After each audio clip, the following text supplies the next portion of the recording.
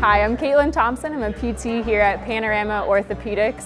One of the biggest complaints we get after rotator cuff surgery is pain with sleeping. So I'm here to give you a few tips and pointers on how to make that a little more comfortable.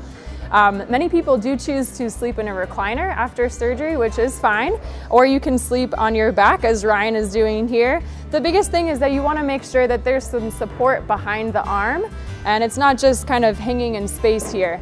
As you continue sleeping, if there's nothing supporting it, it will gradually kind of migrate back down towards the bed and that will be fairly uncomfortable and you'll probably wake up. So what we'll do is slide a pillow or two underneath here so that it doesn't really have the opportunity to slide down and that should help with comfort level lying on your back or in a recliner. If you're more comfortable sleeping on your side, you can also do that. You would just lie on the non-operative side. So Ryan, can you turn over for me, please? You're gonna be lying on the left.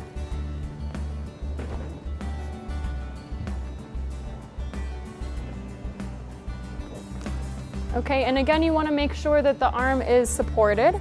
So we'll put um, a few of these pillows underneath so that the wrist and the hand can just rest on top, and that way the arm doesn't end up in, all the way in front of the body.